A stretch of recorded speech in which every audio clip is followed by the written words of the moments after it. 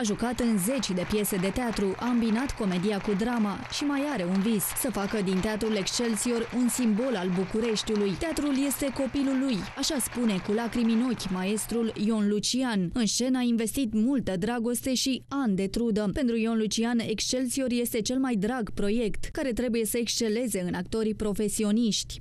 Nu am avut nicio clipă satisfacția de a simți că statul ăsta pentru care mi-am dăruit viața a făcut ceva pentru mine. Nimic. Este amărăciunea unui maestru care, din dragoste pentru scenă, artă și public, a vrut și a putut să treacă peste ignoranța mânuitorilor de fonduri. V-ați dat viața pentru teatru? O, desigur. Și chiar în condițiile astea vitrege, dacă ar fi să pot să le iau, l-aș relua de la început.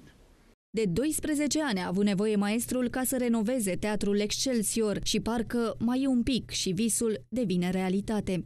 Dacă nu mor până atunci, stau de șase luni de zile fără să se miște un deget.